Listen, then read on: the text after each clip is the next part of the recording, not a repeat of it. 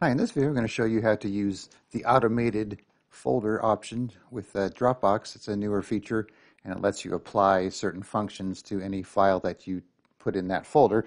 So there's several types of automations you could apply to a folder, but before doing so you have to create an automated folder. So to do that, just kind of get where you want that folder to be. So I'm going to do it in my kind of root here where all my uh, folders are. You could go and you know make it a subfolder if you want. So you go to the create and then automated folder. Give it a name. We'll, we'll call this, uh, we'll use an existing name, meeting notes from a folder I had before.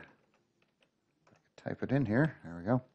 And then here's your automated folders options here. So you get um, files added to this folder based on a sorted based on a category. So if you click on it and do next, then you can pick how you want it to sort, you know, by month or year. So each one has a different you will have some different options based on what you're choosing here.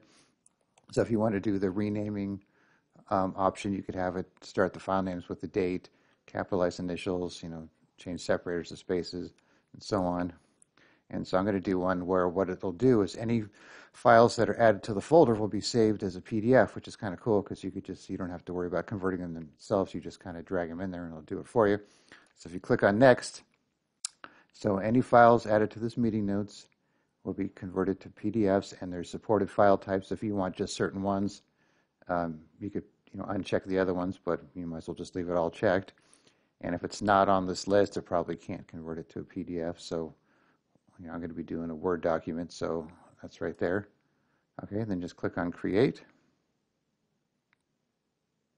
Okay, so here's my folder. So if I go back to my main folder, you'll see how it says automated next to it. So that tells you it's an automated folder. So once I'm in there, all I need to do is I'm going to take these two Word documents here, drag them in here to upload them.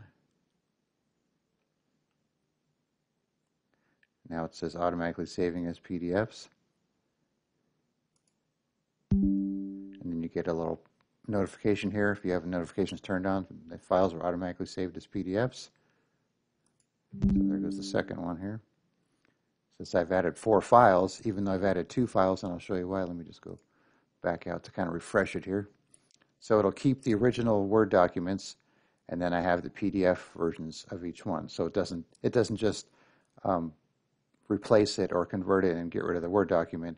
It makes a PDF out of it while keeping the original document. So you'll have both in there. That's why I said uh, creating four files.